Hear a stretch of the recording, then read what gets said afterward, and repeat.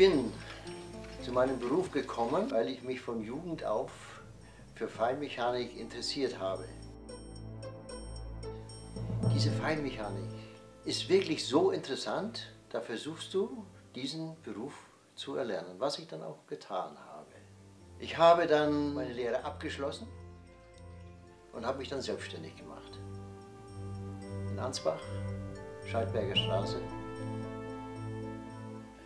In meinem Geschäft sind zurzeit beschäftigt ein Auszubildender im Uhrmacherhandwerk, einen Uhrmachergehilfen, der schon über 20 Jahre bei mir ist, eine Goldschmiedin, die ebenfalls schon 20 Jahre bei mir ist, im Laden meine Frau, zwei Verkäuferinnen und meine Tochter. Um eine Uhr zu reparieren sind äh, sehr, sehr viele ähm, Instrumente, Handwerkszeug erforderlich.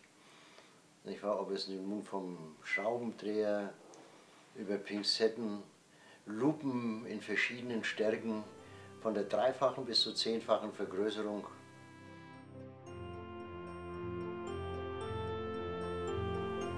Poliermaschinen, eine Drehbank, um Teile, die nicht mehr lieferbar sind für alte Uhren, von Hand in der Drehbank neu anzufertigen, um auch diese alten Damen, so bezeichne ich mal die Uhr, wieder zum Laufen zu bringen. Die Uhr erstaunte unumwunden. Warum hat mich der Mensch erfunden? Ich war doch als sein Knecht gedacht.